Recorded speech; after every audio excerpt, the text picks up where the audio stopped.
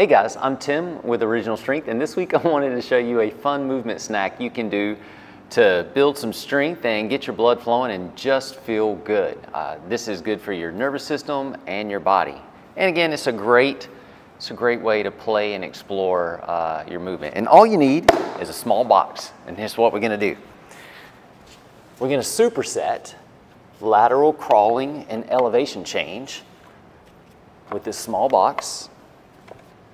And just changing elevation is gonna light your core up like a Christmas tree. You're gonna really like this if you haven't done it. And then you're not gonna like it because you'll be like, well, why is that? Why is this so, why does this work so hard? All right, so we're gonna superset this with cross crawl squats. So we're gonna find the box, stand, find the box, stand and touch. And we're just finding it with our butt, stand and touch. Where is it? There it is, stand and touch.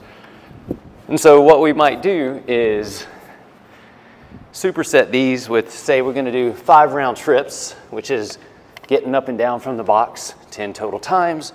So that was one round trip.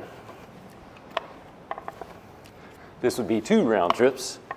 And then we might do 10 or 20 fine touches.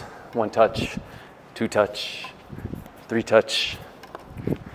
And we may do that for a series of 10 minutes. So, matter of fact, that's a great little training exercise or, or superset that you can do, a great training movement snack. Um, 10 minutes or 20, whatever you want to do. And you just superset crawling over the box and sitting down, finding the box with your, with your bottom, coming up and touching.